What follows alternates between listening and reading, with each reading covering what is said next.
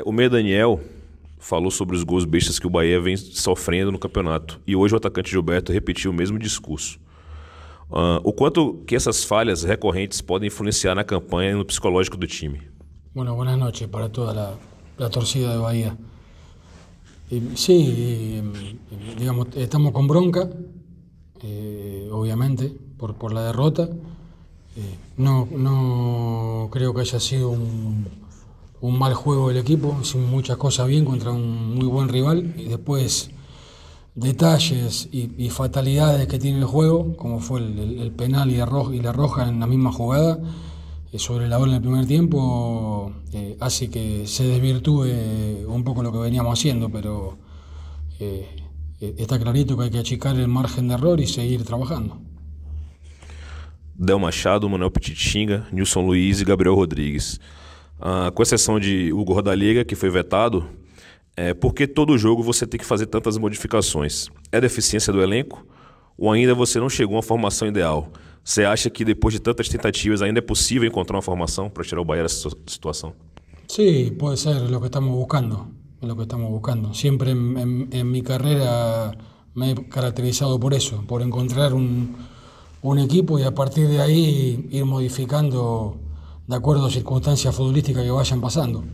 Acá hemos ido teniendo eh, distintas situaciones que no, no han hecho cambiar. Eh, la lesión de Rossi, la lesión de Conti, eh, hoy lo de, lo de Hugo, Rodallega, y, y, después lo futbolístico, pero lo, ideal está más cerca de, lo que vi hoy. La verdad que me, fue un juego que más allá de, distintas cosas para acomodar, fue dentro de lo que queríamos del equipo.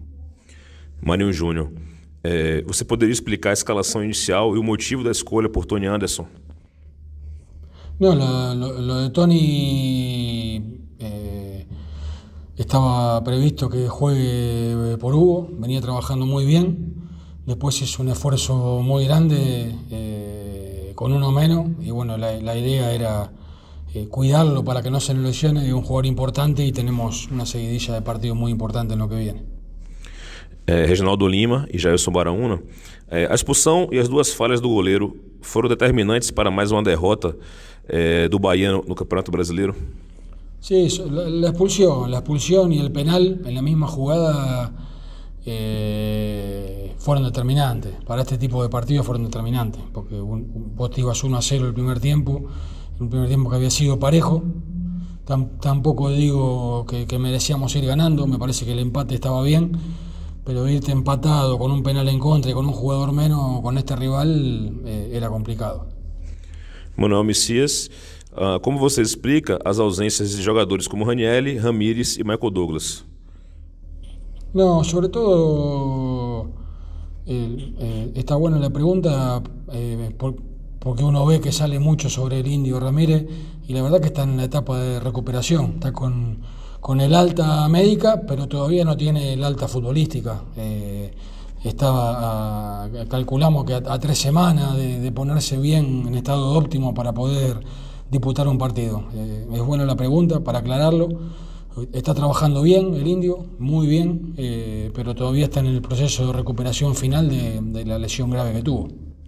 E a última pergunta, Rafael Thiago. Uh, qual o motivo de entrar com um time defensivo e sem jogadores de velocidade para tentar o contra-ataque? Não, não. Para mim não foi um time defensivo.